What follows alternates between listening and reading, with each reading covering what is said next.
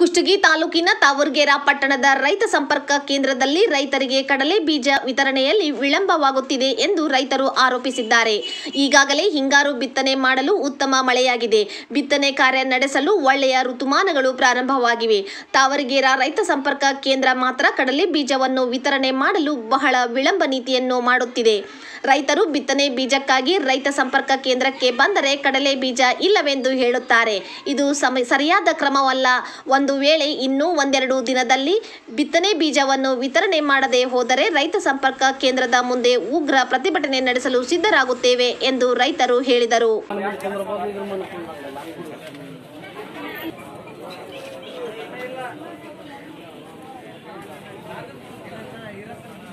ಖಂಡಿತ.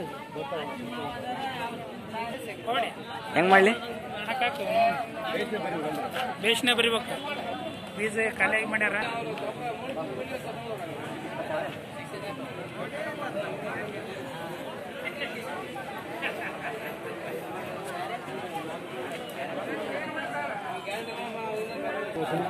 Aadhaar card xerox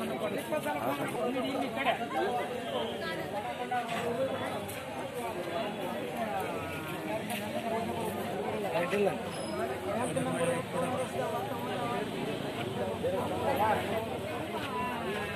ಅಡ್ಡಿನ